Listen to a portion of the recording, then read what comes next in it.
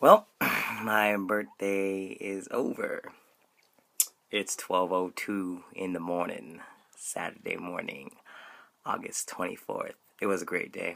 Um, cliche saying, but it's the truth. I just did my day like it was any other. but it was cool to get text messages and messages and love from all my friends.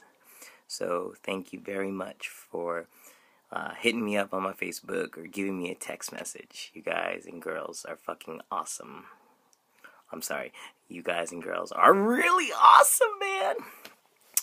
But thank you for sending me into my 27th year of existence.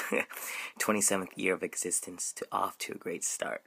So this is going to be a great year, and um, thanks for being a part of my life for these last 27 years. Anyway, bye.